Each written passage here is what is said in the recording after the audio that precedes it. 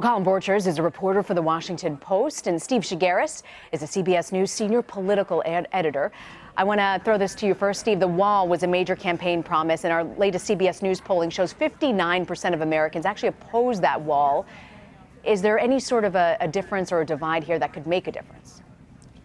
Uh, absolutely. I mean, keep in mind he's doing this obviously to keep a campaign promise. Now, this executive action is not going to magically build the wall. There's a lot of steps between uh, now uh, and that point. Uh, but at least he can point to uh, some action that he's taking to move toward one of the promises that was a staple of his uh, of his campaign, of, of, his every single rally. He brought that up and and heard his crowds go nuts every time he said build a wall. so he can point to that. But as you mentioned, the 59 percent and Congress is going to be involved in helping him get this wall built. If it does get built, they're going to have to uh, outlay money uh, initially, even though he says he wants Mexico to pay for it eventually. Congress has to uh, give him the money to start building this uh, right now. Uh, and members of Congress, including Republicans mem members of Congress, are going to be listening to their constituents. Keep in mind one thing. Uh, there is an election in less than two years, and so every member of the House is going to be up again in 2018, uh, and there are uh, 34 members of the Senate that are up in 2018, and they're going to be listening to their constituents about this idea. Uh, and these Republicans, if the majority of people in their districts don't want the wall, there are going to be a lot of hard decisions to make uh, moving forward in terms of, of, of passing a bill that would outlay money money to build this wall. So yes, that 59% of the country that's against it does make a difference. Callum, President Obama once famously said that he's going to use his pen and his phone to get his policies through. These executive actions, how much teeth uh, would you say that this has? I mean, is, is this something tangible that will then affect policy in a real way? Well, it does, but of course, the, the sort of perception problem that the press is going to point out over and over again is the potential for inconsistency or the potential for the Trump administration to look uh, like they're doing exactly the thing they railed against during the campaign. I mean, we've heard uh, not only the Trump campaign, but also Republicans for years decrying executive actions by uh, President Obama, working around Congress and really resenting that style of governing. And here is Trump uh, starting off his, his term doing somewhat the same thing. Steve, when you look at the action that he's taken on all these different policy fronts, how does this compare to the Obama administration? I mean, do you see him, uh, now that they have both Congress, both houses of Congress, I mean, will this be put forward or will there be, as Senator Schumer once called, Republicans of conscience who might put some sort of obstacles in the way? Well, that's the big question, right? So a lot of these actions that he's taken in the first few days uh, have been uh, related to promises he made on the campaign, right? So again, he can point to these things and say, I'm starting uh, to move on these things that I promised you uh, when I was campaigning uh, last year. But uh, the question moving forward is, is Congress going to play along? It's something to watch. There are, there are some things I think that you're going to see that Congress, Republican Congress is going to be uh, on board with, whether it's tax cuts uh, or whether it's uh, some foreign policy ideas. Uh, but then there are going to be other questions that they're going to have uh, on some of the things that he's proposing on trade and other issues where there may be splits and there are going to be a lot of debates. And so it's going to be very interesting to see where the cracks are between the White House and the Republican Congress and how those cracks manifest themselves. It's going to be something we're going to be watching watching very closely over the coming months. Callum, President Trump has said no matter what front, whether it's the pipelines or immigration, that he wants this to happen quickly. How likely is he to be able to push these through and actually get the funding? You know, Congress controls the purse strings, so will that happen?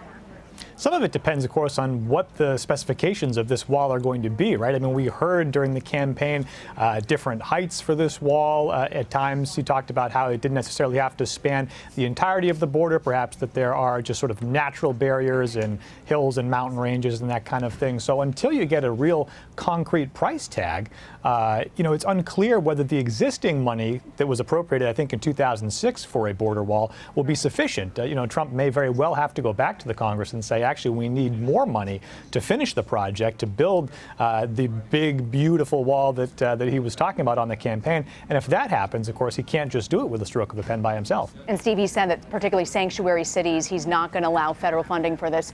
How likely would that go forward? And is there pushback from these communities that have actually supported this for quite some time?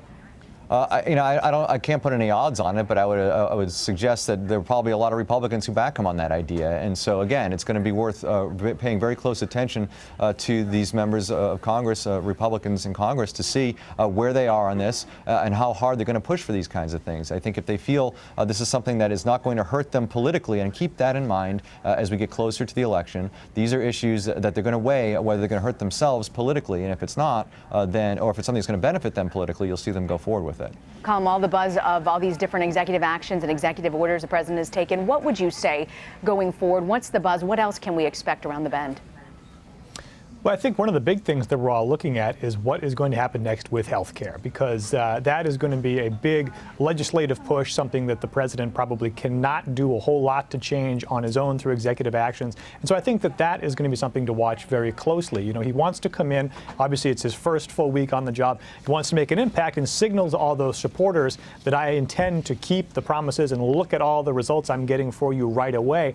But that is another big one. It's one that Congress, uh, congressional Republicans have been wanting to do, a course, for years and years now, and getting some real tangible momentum on that in the first 100 days, I think, is the big thing to watch.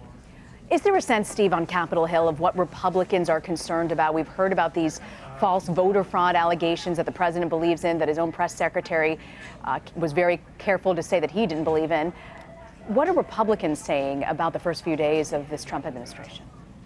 Well, I think there's some frustration that he keeps getting in the way of uh, some of the things he's doing. Keep in mind, uh, anybody who is pro-Trump is pointing to all the accomplishments that he's made the last the first few days, which is he signed these executive actions, pointing to the promises he made uh, on the campaign trail, uh, and he's actually been a pretty busy guy the first few days. But that's all being uh, swarmed uh, by the fact that he keeps saying these things, and, and the voter fraud issue is is almost the biggest issue that he's faced in the first few days here, mainly mainly because it gets in the way of whatever successes that he's trying to get out there. I think when you, you see politicians, uh, you know, their strategy is always let's get uh, let, us try to keep uh, things on a positive in a positive light. Let's not get in the way of good news. Yet Donald Trump has done this, and he's done this pretty much since he announced his candidacy in 2015. You remember, he announced his candidacy. That should be the news that he was announcing his candidacy. Yet, how many takeaways do we have from that original speech that turned into controversies? It's again what's happening with his, uh, with his, uh, the beginning of his presidency. I think you see Republicans, some of them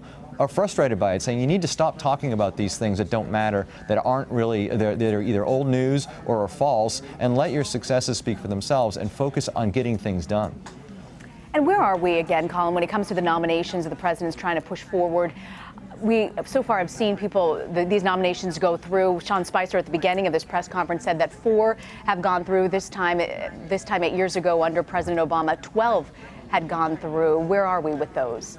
Yeah, there's no doubt that they're lagging behind where President Obama's nominees were uh, when he took office. But of course, one of the big differences is that many of the people that Donald Trump are bringing in uh, are not people who have experience in the federal government. So for them, filling out the paperwork, in some cases for the first time, has been more cumbersome. Um, and of course, you had the uh, the ethics office complaining that they hadn't had a chance to properly vet all the people as early as they had wanted to. So I think that's part of the holdup as well. Uh, you know, it's not just a matter of playing politics, although of course that is some of it. Um, but there are just some very logistical hurdles that weren't cleared early for these people as they were for some of Obama's nominees. And so I think that's something to keep an eye on as well. You know, to the degree that uh, Sean Spicer can get out there every day and sell to the public the idea that Republicans are just obstructing, uh, I think that'll be very effective messaging for the uh, the White House. The question I think is whether Democrats can do a good job of sort of countering that and maybe explaining why it's taking so long. Steve Chaggaris and Callum Borchers, thank you both for joining us. Thanks.